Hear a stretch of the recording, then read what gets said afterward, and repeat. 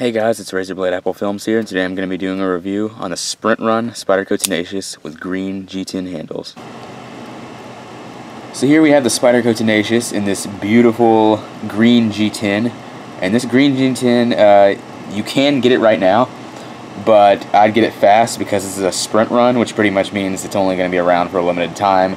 They pretty much do this for the collectors, but with that being said, I have been using this knife a lot. Uh, well, not a lot, but you know, I've been I've been using it. There's no knife that I buy that I don't use. So I'm I'm not buying it just for collecting purposes so that I can sell it later down the line. I'm pretty much going to be keeping this one. And uh, the Tenacious is a very very good knife for the price. It's probably the best Spyderco knife for the price.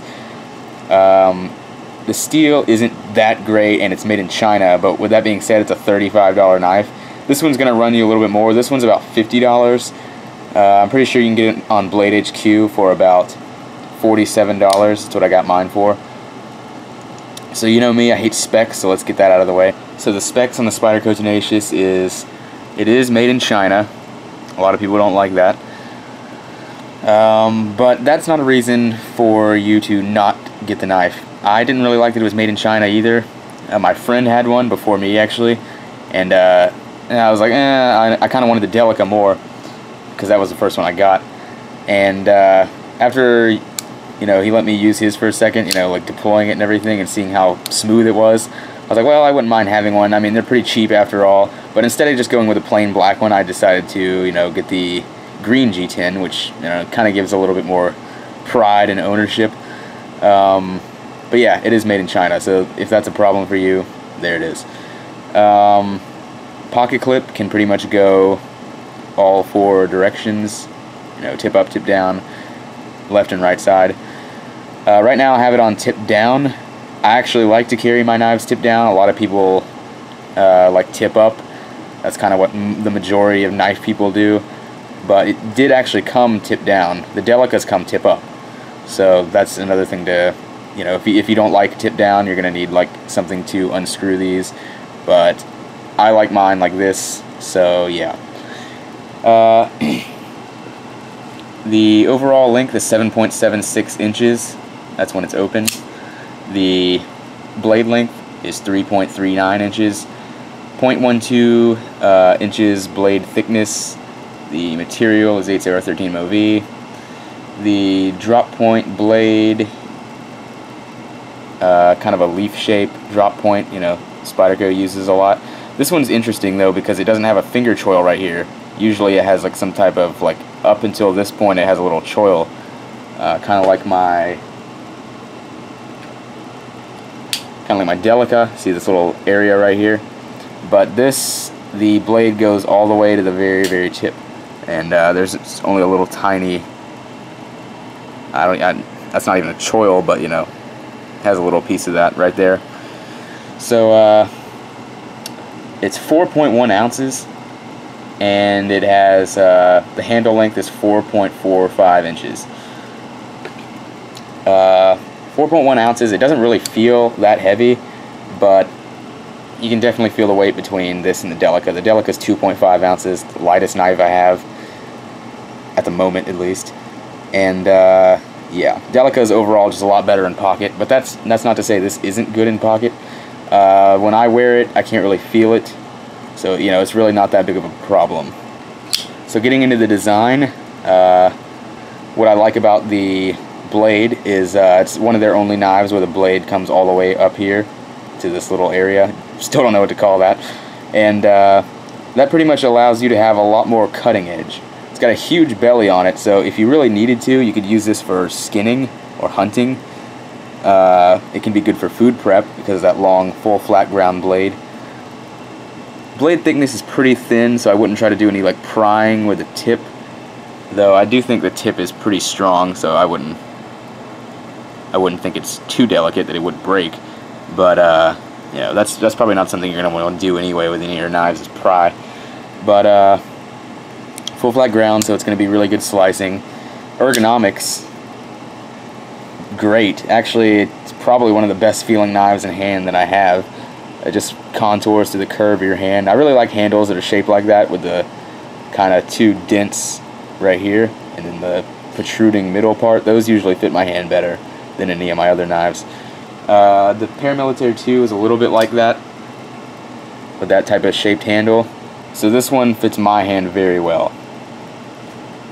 Pocket clip, uh, it's got the Spyderco logo on it. Um, it's really not that big of a, it's not that good of a clip. Uh, the clip itself is fine, but it's as far as carry, it's going to stick out like that much, which is that's a little bit deeper than it's going to be on tip down. It's going to stick out. Well, well, yeah, it's going to stick out about that much on tip down. So, well, I mean on tip up. So uh, I kind of like this better. You know, that's just me. Uh, let's see how it looks in the pocket. So here's how it looks in the pocket.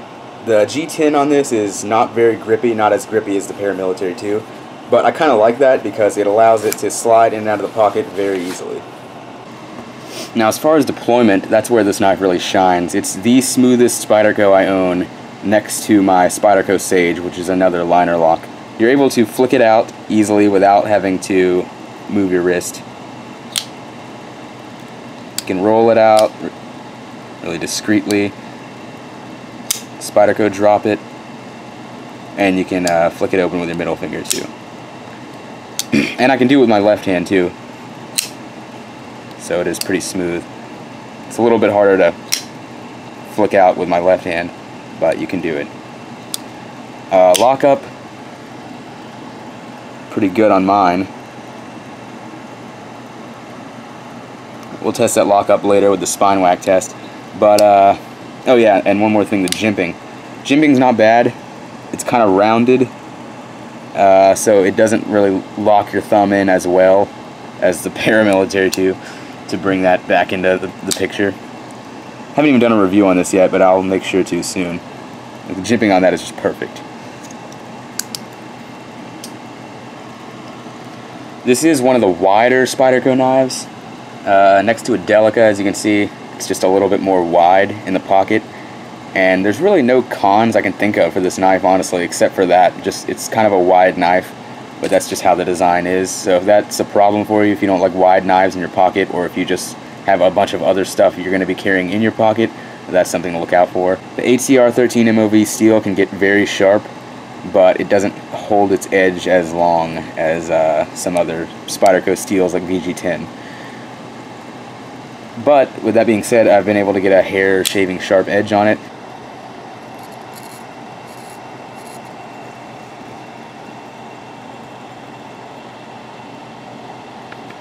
The edge it came with honestly wasn't that good. I touched it up with my Spyderco Sharp Maker and got it even sharper than it was from the factory. So if you don't really know how to sharpen knives, you know, maybe you want to look elsewhere, but I, I don't think that's really a problem. Most people know how to sharpen knives. Here's a piece of paper that I was using for uh, the specs. So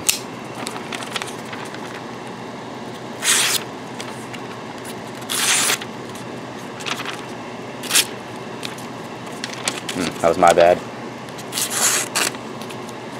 Kind of running out of room, but yeah, you get the picture. Very sharp knife. Even the tip is very sharp.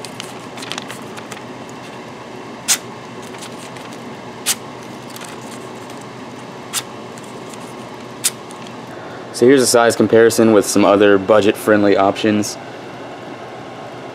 Here's the Coast LX311 which is only $7. This is going to run you about $47.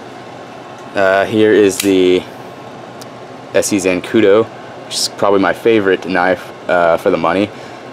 Honestly, I do like it a little bit better than the Spyderco Tenacious. I don't know, something about this one just speaks to me. Here it is next to a Spyderco Delica.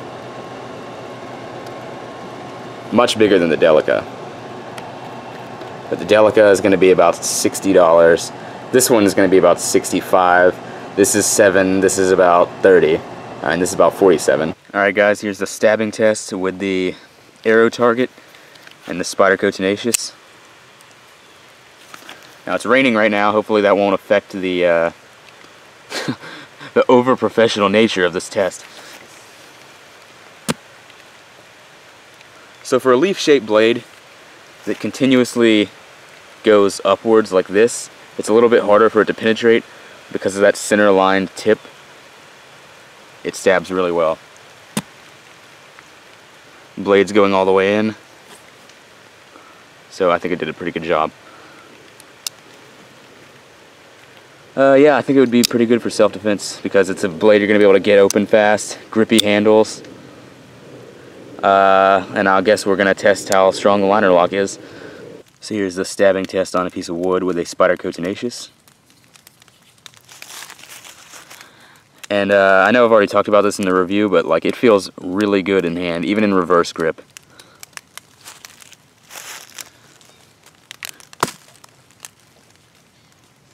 That bit really deep into the wood, if you can see that.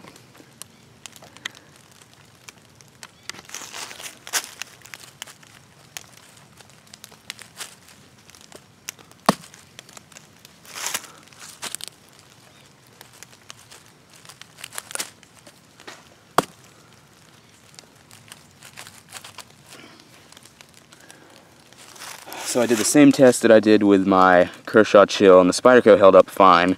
They're both made of the same steel. That just goes to show that Spyderco has a little bit better quality uh, with steel.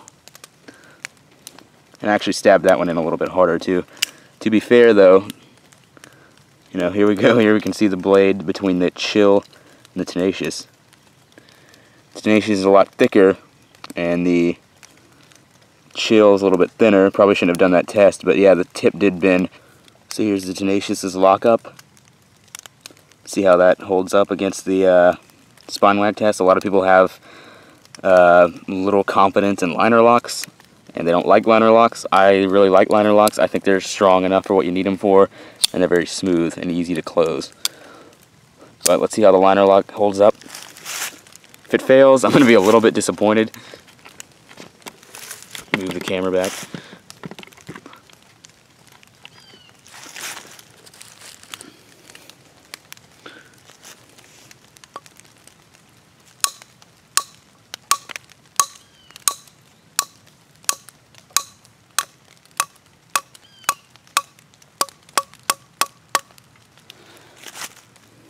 Held up, didn't fail, perfect.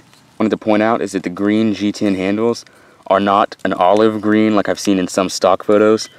They're definitely more of a bluish, kind of teal green. Uh, I guess you could say maybe a forest green, but it is a little bit of a different color than the other variation they produced earlier with the olive green handles. So just make sure you, you know, know that. So let me know in the comments, actually, if you want to see a comparison between the Tenacious and the Delica. No one ever compares these knives, but when I was thinking about what Spyderco to get as my first Spyderco, I was I had it. I was pretty much torn between these two. I ended up going with the Delica, but uh, you know, I'd kind of like to make a versus video. So let me know if you'd like to see something like that.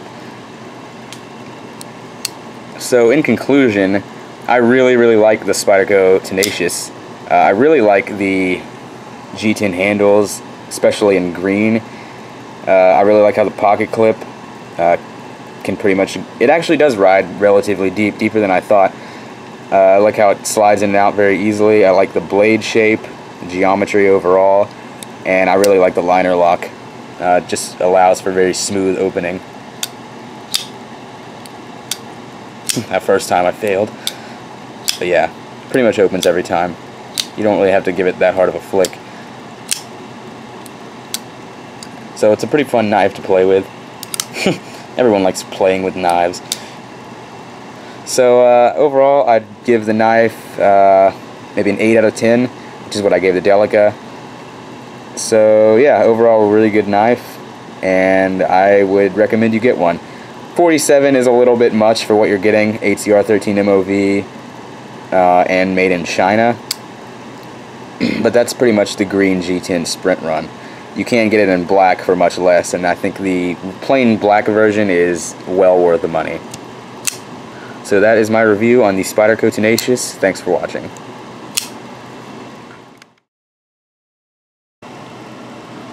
So getting into the,